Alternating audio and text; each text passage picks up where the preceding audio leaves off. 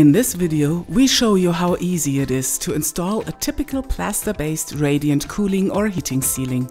The underneath of the concrete floor slab is first of all primed to ensure good adhesion with the plaster.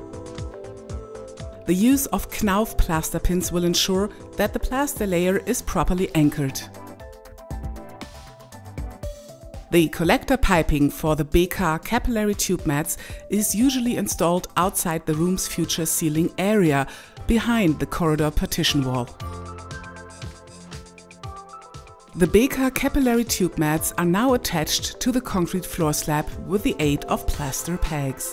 The plaster layer is applied as thinly as possible, whereby it should be ensured that it extends across the hanger bolts. The drywall structure for the corridor partition is installed and fixed to the hanger bolts. The flow and return lines are now connected.